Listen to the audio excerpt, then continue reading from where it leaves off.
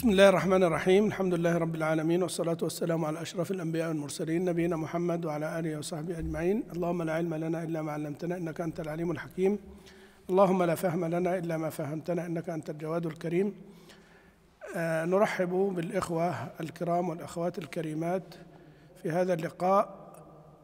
أما يعني كيف نحقق هذه الجوانب والمراتب في آه إتقان التجويد فإن عندنا قسمان قسم نظري وقسم تطبيقي عملي.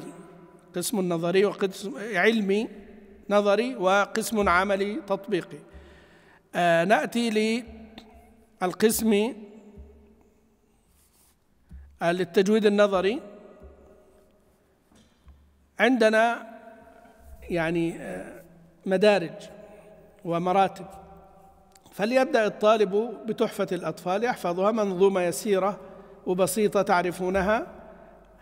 وتحفة الأطفال والغلمان للشيخ سليمان الجمزوري يحفظها ويتقنها ويعرضها على شيخ ويشرحها له. أو الآن المواد موجودة متاحة على اليوتيوب الحمد لله. حتى من لم يجد شيخا يعني مباشرا يجد من يشرح له. وإذا أتقن هذا ينتقل بعد ذلك و يعني قرأ شرحا لها كفتح الأقفال و أو من حذ الجلال كما سيأتي. انتقل إلى حفظ المقدمة الجزرية وأتقنها وقرأها على شيخ وضبط المتن على شيخ ويقرأ بعد ذلك شرحا لها. أو مع ذلك يعني ممكن يحفظ ويقرأ الشرح في نفس الوقت يحفظ ويقرأ الشرح. وإن قرأه على شيخ فهو لا شك أنه أفضل. فإذا انتهى مثلا من الجزرية يترقى يأخذ مثلا لآلي البيان يأخذ مثلا التحفة السمنودية يأخذ مثلا السلسبيل الشافي. وإن اقتصر على الجزرية والتحفة فهذه تكفي للمبتدئ والمتوسط يعني كافية إن شاء الله. مع دراسة الشروح سيأتي التدريج في الشروح والكتب كما في الشرائح التالية. مثلا عندنا تحفة الأطفال لها شرحان مشهوران وربما هناك شروح أخرى يعني أقل شهرة لكن أشهرها شرح فتح الأقفال شرح تحفة الأطفال للجمزوري ومنحد الجلال للضباع وكلاهما مختصر لأن هي كما يعني في النون والتنوين والمدود. يعني هو بدأ بأحكام يسيرة فقط بالنون والتنوين والمدود. لم يكثر من الأحكام في هذه المنظومة. ولذلك فإن يعني الشروح الموجودة فيما أعلم شروح مختصرة وكافية إن شاء الله من يعني قرأ. لكن كما قلنا يكرر الشرح. لا تقرأ الشرح مرة واحدة. يعني أنا يمكن قلت لطلابي أكثر من مرة قلت لهم أن بعض الكتب القراءات والتجويد قرأتها أكثر من عشر مرات. يعني الوافي في شرح الشاطبية قرأته أكثر من عشر مرات. وشرحته كاملا مرة. وشرحته بالأصول منه مرتين غير غير المرة الأولى. بل والثانية كان فيها نصف الفرش أيضا فرش الحروف. يعني الإضاءة للضبع رحمة الله عليه في أصول القراءة. قرأتها ما لا أحصيه كثرة يعني أظنها تفوق العشرين مرة. كل مرة تظهر لي معاني وكل مرة ومرة أقيد وأكتب وألخص و. هذه القراءة النافعة ما قراءة جريدة ولا قراءة منشور في الفيسبوك ولا في تويتر ولا. هذه القراءة يعني ما تكرر تقرر ما تكرر تقرر يثبت. كثرة الترداد والتكرار يثبت. أيضا بعد ذلك عندنا الجزرية متن الجزرية. شرح الدقائق المحكمة شرح الشيخ زكريا الأنصاري. شرح بسيط. وأيضا الفوائد المفهمة لابن يلوشة التونسي. شرح مختصر ومفيد ومركز. وأيضا هناك للدكتور صفوت سالم شرح فتح البرية شرح المقدمة الجزرية. معاصر الشيخ وحي يرزق حفظه الله ونفع به. أيضا من الشروح يعني من أنهى هذه المرحلة يترقى إلى مرحلة أعلى. فهناك الطرازات المعلمة لعبد الدايم الأزهري تلميذ ابن الجزري. وأحسب أن غالبية شروح الجزرية الموجودة تحقيقات أكثرها أخذت العناوين من هذا الشرح. أكثرها أخذت العناوين من هذا الشرح. لأن ابن الجزري كتب الجزرية كمنظومة متتابعة ما يعني ما بوبها في التقسيم إنما يعني آه، كتب المنظومة متتابعة بلا تقسيمات ولا أبواب وهم بوبوها الشراح.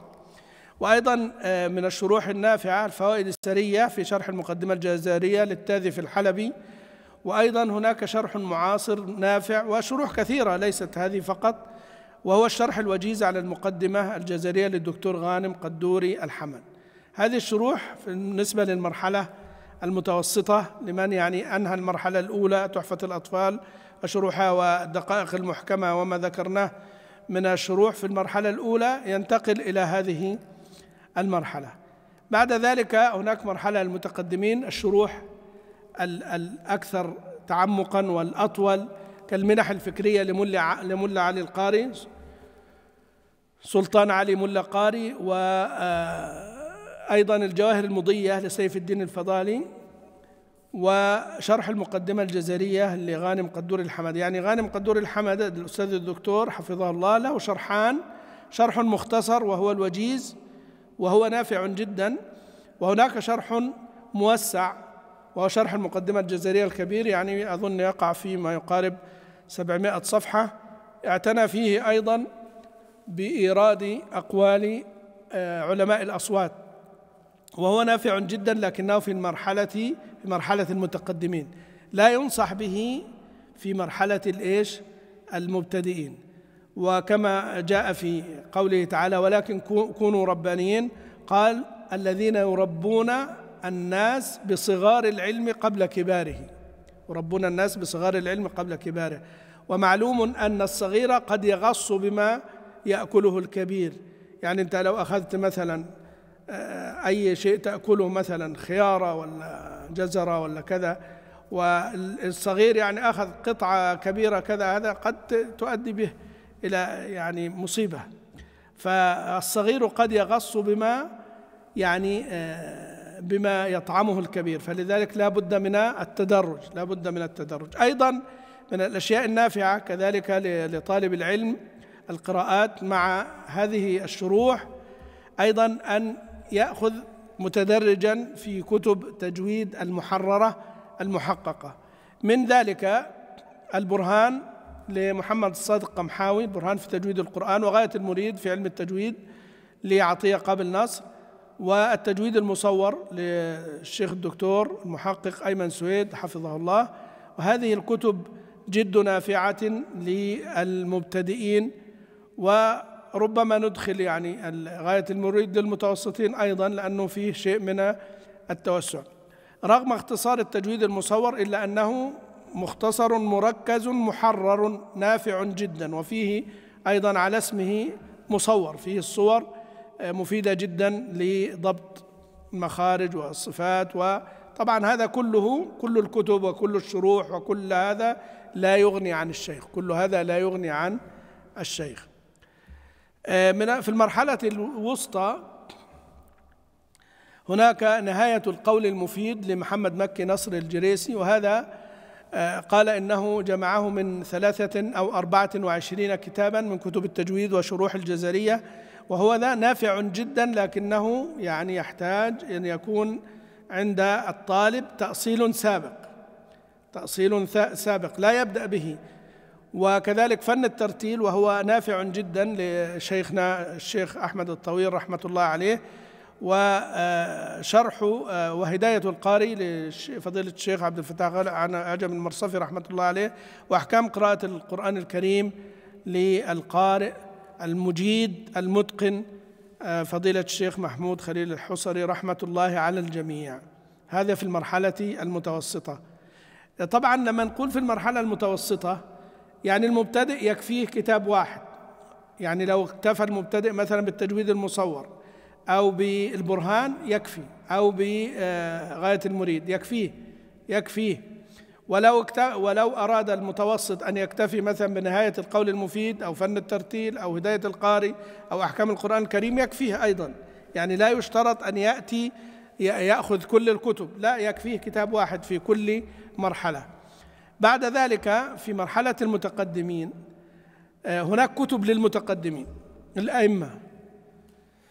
طيب بعضهم يقول لا إحنا ليش؟ إحنا لابد إن كتب المتقدمين هي الأولى نعم هي الأولى صحيح لكن هذه كتب المتقدمين لا يفهمها المبتدئ أصلا ما يفهم. يعني لو ابتدأ بالرعاية أو ابتدأ بالتحديد أو التمهيد أو الموضح أو جهد المقل ما فهم. فلذلك لا بد أن يترقى. عندئذ تكون عنده الآلية والقدرة على أن يفهم كلام الأئمة على أن يفهم كلام الأئمة المتقدمين في كتبهم. أما بدون هذه الآلية فصعب جدا على المبتدئ أن يدخل مباشرة إلى كتب أئمة القراءة وهم أئمة كبار مكي بن أبي طالب وأبو عمرو الداني كلاهما من علماء القراءات الكبار جدا وهما في القرن الخامس. وأبو عمرو الداني يعني من من أكابر أئمة هذا الفن في ويعني في علوم كثيرة والشاطبي رحمة الله عليه آه، نسج قصائده الثلاث على كتبه. نسج الشاطبية على التيسير نظم التيسير. ونسج آه، ناظمة الزهر على كتاب البيان في عد أي القرآن. ونسج عقيلة أتراب القصائد اللي هي في الرسم على كتابه آه اللهم صل المقنع. فهذا من كبار الأئمة من أكابرهم من كبار محققيهم. وأيضا مكي بن أبي طالب القيرواني له الرعاية ولأبي عمرو في هذا العلم التحديد. ولأبي العلاء الهمداني حافظ المشرق أبو العلاء الهمداني المقرئ الكبير كتاب التمهيد ولعبد الوهاب القرطبي هذا غير المفسر آه، صاحب أحكام القرآن آه، عبد الوهاب عبد الوهاب القرطبي له الموضح ولمحمد المرعشي جهد المقل وبيانه. جهد المقل هذا الكتاب الأصلي وشرحه في بيان جهد المقل وهو كتاب نافع جدا. بعد ذلك إذا انتهى الطالب من استكمال هذا هذه فلا بد أيضا له من بعض المكملات في علم التجويد. بعض المكملات الهامة من أهمها الوقف والابتداء ورسم المصحف. الوقف والابتداء هو من أهم العلوم التي ينبغي أن تتوجه إليها عناية طلاب التجويد لأن هذه هذا العلم له أجل الأثر في حسن التلاوة وجودة القراءة. فهو يوقفه على المواطن المواطن التي يحسن الابتداء بها ويحسن القطع عليها ويحسن الوقف بها عليها. أما يقول واحد الذين آه، يعني الذين استجابوا لربهم الحسنى والذين لم يستجيبوا له. ويقف. ماذا يقال لهذا؟ هل هذا يفهم ما يقرأ؟ ما يفهم. أو يقول وأدخل الذين آمنوا وعملوا الصالحات جنات تجري من تحتها الأنهار وبعدين يبدأ يقول الأنهار خالدين فيها. الأنهار خالدين هم خالدون في الأنهار. فهذا علم الوقف والابتداء يرشده إلى أين يبدأ وأين ينتهي. وهذا من أهم من أهم ما, ما, ما ينبغي للقارئ بعد إتقان الحروف بعد إتقان التلفظ بالحروف مفردة ومركبة وإتقان الحركات ومراعاة كمالات الأداء لا بد مع ذلك أن يحسن الوقف والابتداء. لا بد أن يحسن الوقف والابتداء. لذلك قال ابن الجزري رحمة الله عليه وصح بل تواتر عندنا. مش صح فقط ولكن بل تواتر عندنا تعلمه أي الوقف والابتداء والاعتناء به من السلف الصالح. وكلامهم في ذلك معروف ونصوصهم عليه مشهورة. ولذلك اشترط على كثير من أئمة الخلف على المجيز ألا يجيز أحدا إلا بعد معرفته الوقف والابتداء. يقول قائل هذه عند أئمة الخلف إحنا نأخذ بالسلف فقط. الخلف أدرى بطلابهم. الخلف أدرى بطلابهم. السلف وطلابهم وعندهم القريحة عندهم العربية وعندهم اللغة وعندهم يعني التمييز بين مواضع الوقف والابتداء. يعني ما عندهم مشكلة لكن الآن الطلاب يعني لو بدون هذه العلامات وبدون دراسة في هذا العلم يقفون وقوف شنيعة ويبتدئون ابتداءات قبيحة جدا. فهذا يعني من العلوم التي ينبغي العناية بها حتى حتى عند يعني آه، عند جمع القراءات. قال وجمعنا نختاره بالحرف بالوقف وغيرنا يأخذه بالحرف بشرطه. ثم قال فليرعى وقفا وابتدا ولا يركب وليجد حسن الاداء يعني حتى وأنت تجمع القراءات لابد أن تحسن الاداء ولا بد أن تراعي وقفا وابتدا. لا تترك هذا حتى وأنت تجمع القراءات. من الطرائف أحد؟ الإخوة كان يقرأ علي يعني قالون وأبو عمرو يعني قراءتين أو ثلاثة كذا قال إن الذين يرمون المحصنات الغافلات المؤمنات لعنوا في الدنيا والآخرة. ثم أراد أن يعطف أبا أبا عمرو قال في الدنيا والآخرة. هذه ما في إشكال عطف الدنيا. ثم قال المؤمنات لعنوا في الدنيا والآخرة. قلت له يا أخي اتق الله. قال ماذا قلت؟ قلت المؤمنات لعنوا في الدنيا والآخرة. يعني أنت عشان بتجمع القراءات تلخبط الأحكام فلا بد أن يراعى هذا للقارئ حتى ولو يقرأ بجمع القراءات. أيضا من العلوم الهامة رسم المصحف آه، ولذلك عد رسم المصحف من أركان القراءة الصحيحة. نقبل القراءة لابد أن توافق السواد لابد أن توافق رسم المصحف. فمنقول وكان أمامهم ملك يأخذ كل سفينة غصبا كل سفينة صالحة غصبا هذه القراءة تنسب إلى ابن عباس. ابن عباس ترجمان القرآن وإمام المسلمين. هل تقبل هذه القراءة؟ لا تقبل حتى وإن جاءت عن ابن عباس رضي الله عنه. طبعا هذا له تفصيل لماذا لا نقبلها؟ يعني هذا له تفصيل. النقل القرآن لا بد أن يوافق المصحف ولا بد أن ينقله القراء نقلا متواترا. صحيحا أو على الأقل صحيحا مستفاضا مشهورا ويتلقى بالقبول. آه، هذا مثل هذا الذي ورد عن بعض الصحابة. قد يحملونه على إنه نسخ تلاوة أو يحملونه على أن بعض الصحابة كان يكتب التفسير فجاء يعني بعض النقل نقلوا التفسير مع القرآن. آه، لكن هذا هذا الأمر ضبطه أئمة القراءة فنقلوا ما صح وما ثبت في العرضة الأخيرة نقلا متواترا طبقة عن طبقة أمة عن أمة تنقل هذا هذا القرآن. فلذلك عدوا موافقة المصحف قالوا فكل ما وافق وجه نحوي وكان للرسم احتمالا يحوي وصح إسنادا هو القرآن. فلا بد أن يوافق رسم المصحف. أما يقول وسيعلم الذين كفروا لمن عقب الدار أو سيعلم الكافرون هذه رغم أنها تنسب إحداهما إلى أبي وإحداهما إلى ابن مسعود فلا يقرأ بها قرآن. قرآن كقرآن لا يقرأ بها لأنها تخالف المصحف. المصحف وسيعلم الكفار والكافر. قراءتان متواترتان وكلاهما يحتملها رسم المصحف. قال الإمام أبو عبيد القاسم بن سلام رحمة الله عليه وإنما نرى نرى القراء عرضوا القراءة على أهل المعرفة وتمسكوا بها مخافة أن يزيغوا بين اللوحين. يعني عما رسم كتب في المصاحف بزيادة أو نقصان. ولهذا تركوا سائر القراءات التي تخالف الكتاب الرسم يعني ورأوا تتبع حروف المصاحف وحفظها عندهم كالسنن القائمة التي لا يجوز تركها. فهذا رسم المصحف وهذا رسم المصحف يعيننا في أمور نتكلم عنها حين نأتي إلى الكتب الخاصة برسم المصحف الآن. بالنسبة لكتب الوقف والابتداء عندنا كتب الوقف والابتداء. كل الكتب التي نذكرها هذه كتب مقترحة كتب مقترحة. قد يكون هناك كتب آه، أخرى أفضل أو يعني أحسن منها لكننا نقترح كتب نقترح هذه مقترحات منا. آه،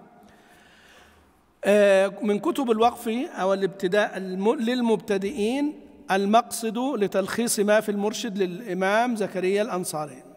وهذا طبع على هامش منار الهدى للأشموني. طبع على هامش منار الهدى. لا أدري هل طبع مستقلا أم لا لكنه طبع على هامش منار الهدى للأشموني.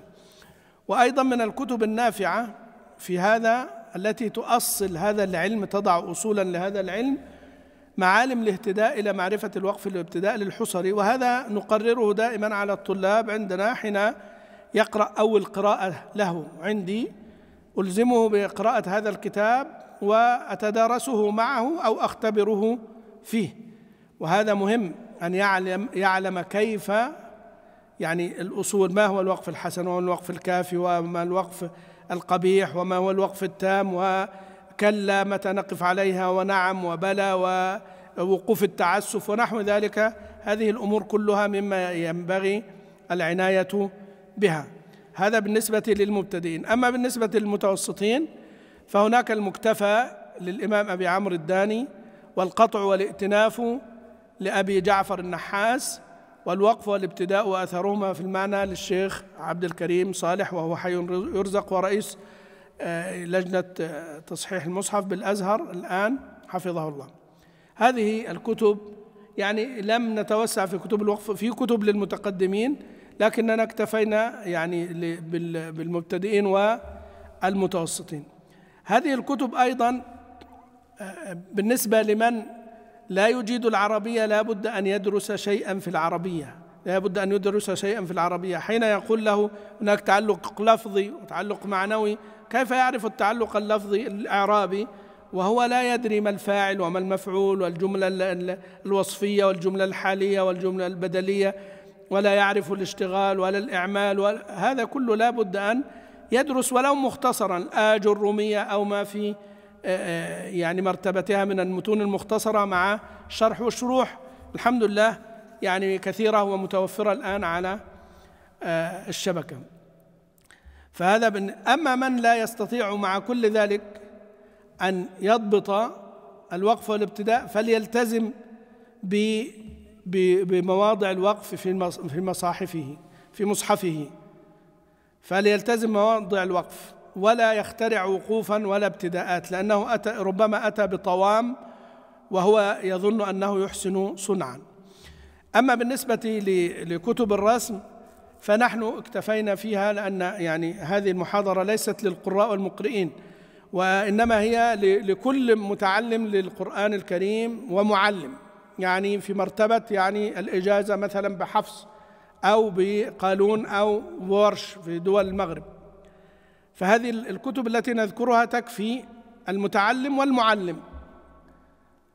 يعني آه، لذلك إحنا ذكرنا في التجويد ثلاثة مراتب وذكرنا في الوقف والابتداء مرتبتين اللي المبتدئين والمتوسطين.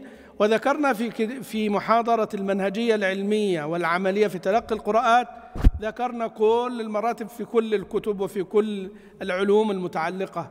يعني في الرسم ذكرنا ثلاث مراتب وفي الوقف والابتداء كذلك مبتدئين ومتوسطين ومنتهين وهكذا. والمحاضرة موجودة على اليوتيوب يعني من حوالي سنتين أو ثلاث سنوات موجودة ولله الحمد. من كتب الرسم المقترحة هناك مختصر مفيد للإمام المتولي رحمة, عليه رحمة الله عليه اسمه اللؤلؤ المنظوم. منظومة حوالي 75 بيت شرحها في الرحيق المختوم وهي نافعة جدا نافعة جدا. لو اكتفى بها القارئ يعني آه الذي لا يريد أن يتوسع في علم الرسم كفته. وأيضا هناك الميسر في رسم المصحف كتاب للدكتور غانم قدور الحمد. وأيضا يعني آه، فوق ذلك يعني سمير الطالبين للشيخ علي الضباع وسبق لنا شرحه موجود على شرحنا النصف الأول منه اللي هو الرسم. وهناك أيضا كتاب مدخل إلى التعريف بالمصحف الشريف لفضيلة الشيخ الدكتور حازم آه، حيدر الكرمي حفظه الله. آه، هذا الخاص بالتجويد النظري والمقدمات التي سقناها والمدارج وكذا. وصلى الله وسلم وبارك على نبينا محمد وعلى آله وصحبه أجمعين.